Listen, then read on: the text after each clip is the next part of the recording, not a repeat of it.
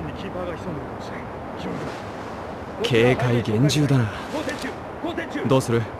正面突破するか。ハイウェイを北上中こちらハイウェイしてもう少し出る場所選べなかったのか。暑くてしょうがないぜ。あらこれでも結構気を使ったつもりよ。なんだよお前自分だけ。なら俺はあれをいただくとするか子供の相手にこのハイビは、いたぞ！